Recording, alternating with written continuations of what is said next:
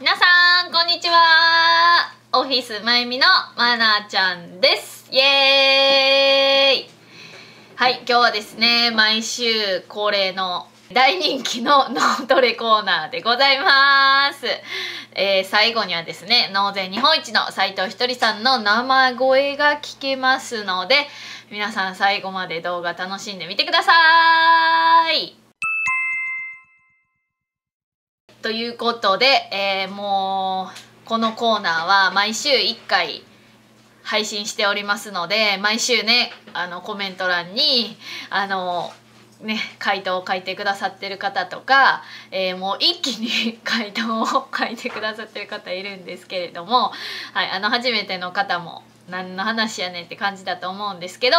えー、こちらはでこのコーナーは、まあ、あの人生相談に、えー、納税日本一の斉藤ひとりさんが最後に答えてくれるっていうコーナーなんですけれどもあのね人生相談を答えの人生相談の答えを聞くだけじゃなくて自分でも考えるっていうまああの脳の筋トレと言ってるんですけれどもまあ自分があの相談されたらどういうふうに答えるかっていうのをね考えるだけで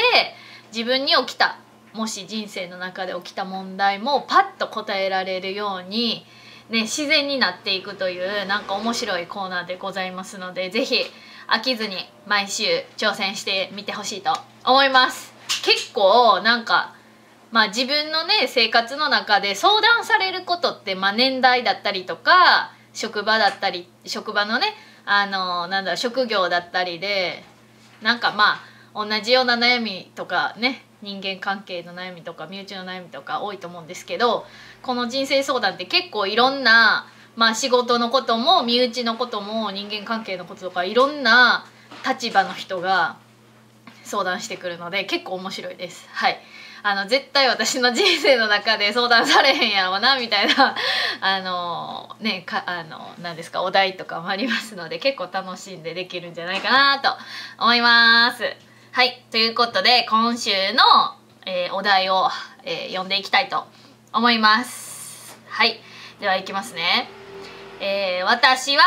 職場でみんなに親切にしわからないことは何度も教えてあげています。私の先輩は、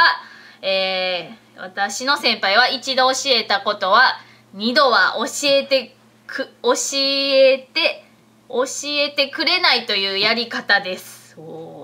相手が分かるまで教えてやろう。安心させてやろう。ちゃんと伝えよう。自分の代わり自分の代から切り替えて親切と丁寧に接してとても気分がいい私です、えー、でも先輩の顔色は優れません。これは気にせず突き進んでいいのですか？とと当然先輩にも他の人とは関わらず接しています。他の人と変わらずですね。ごめんなさい。当然先輩にも他の人と変わらず接しています。親切丁寧笑顔と明るい顔の愛と光と忍耐で接しています、えー、先輩の心に火を灯すにはどうしたらよいでしょうかという相談でした。すいませんカミカミでしたがまあねちょっと先輩のね教えとは違うあの自分の考えを全うしてるが先輩の顔いあの 先輩にここあの先輩の心に光を灯すにはどうしたらいいかという相談でしたね。はい。まあなかなかの素晴らしい相談でした。是非はいあなたならこんな相談をされたらどう答えるでしょうか考えてみてください。では、えー、シンキングタイムに入りたいと思います。シンキングタイムスタート！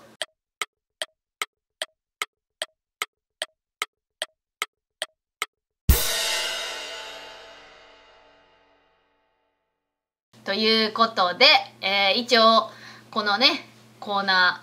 ー、えー、私も答えるというルールになっておりますので 一応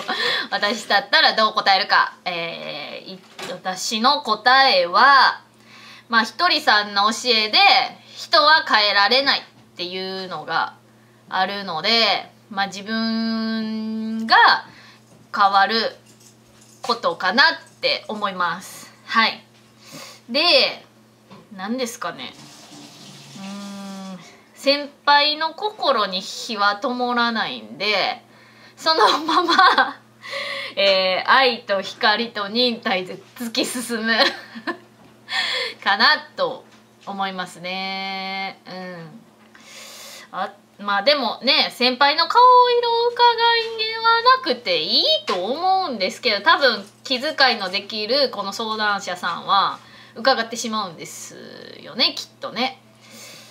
うん。なんでまあこう先輩の顔色を伺わずにどうやって自分が愛と光と忍耐でいけるかっていうことを考えてみるかっていうところですかね。はい。はい、私がこの相談者さんだったらまあもう先輩のことを気にせず突き進むっていう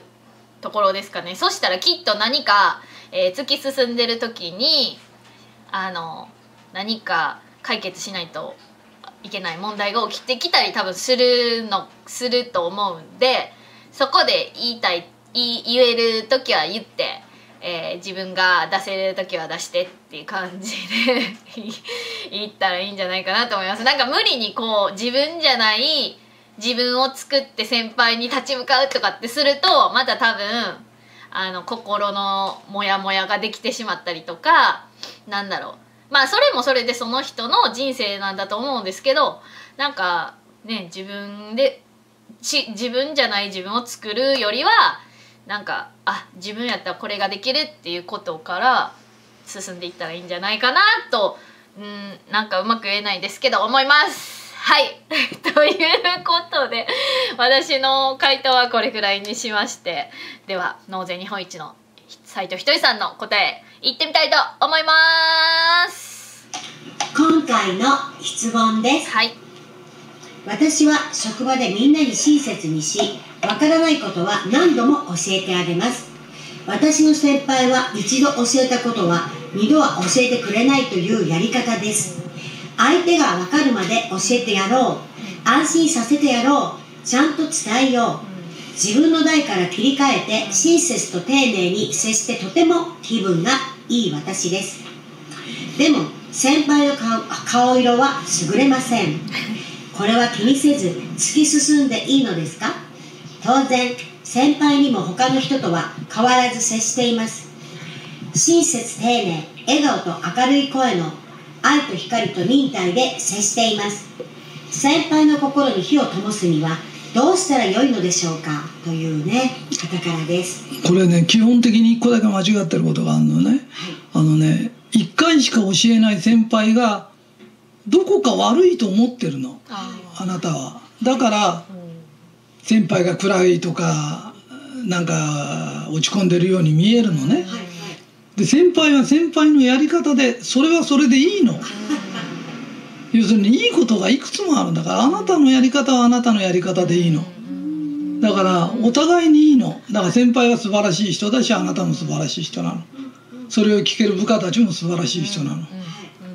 だから先輩が悪いんじゃなくていろんなやり方があるの全く昔の職人みたく教えないのがあるの、そうですよね勝手に盗んで覚えるとかね、でもっとすごいのになってくると、お互いが前向いてるの、だから後ろの背中しか見えないで仕事を見せないようにすると、その人は後ろから見たら手つきとか音で覚えるの。すごいねその修行だから人間ってのは真剣になるとどんなことしても覚えるんだよね。ね。意欲がある人はだから丁寧に教えちゃいけないんじゃないの。それは一つのやり方なの、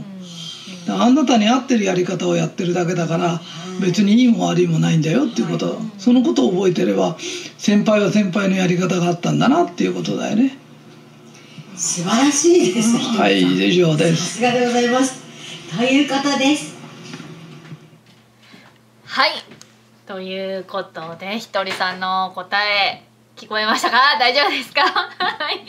でもあのね皆さんいろんな回答があると思うんですけど皆さんのあのこれだっていう回答が正解ですのであの不正解はないですのではい。ぜひまあでもひとりさんのね答えも参考にしながらはい。またまあ同じようなねえー、相談される人もいればされない人もいると思うのではい。是非あの頭の中の引き出しにしまっておいてくださいませ。はいということで、えー、毎週火曜日がこの脳トレコーナーなんですけど明日水曜日はうちの宮本真由美社長の人生相談に、えー、答えてる、えー、携帯のアプリヒマラヤさんというアプリがあるんですけどそちらでも、えー、今と同じような感じで人生相談にうちの宮本真由美社長が答えておりますので是非またね脳トレの気分で、えー、ね聞いていただけたらいいかなと思います。はい。概要欄にヒマラヤさんのアプリを貼っておきますので、ぜひぜひ聞いてみてください。はい。ということで今日も今週もですねまだ第ね第なんていう一段階脳トレができたと思いますのでまた来週もお楽しみにではこの動画がいいと思ったらいいねボタンとチャンネル登録もよろしくお願いしますありがとうございましたいただきありがとうございます。ここからはまなちゃんからの最新情報です。健康になりたい人綺麗になりたい人の応援サプリ。その名も水流様が出ます。ただいまご予約受付中です。大人気のため皆様からたくさんのご予約をいただいております。いつものようにお一人様ご予約5個までとさせていただいてます。水流様のご予約はお近くのマルカンのお店さんまたはオフィスマインまでお電話ください。オフィスマイミはあなたの健康と綺麗をサポートします。あなたのご予約お待ちしております。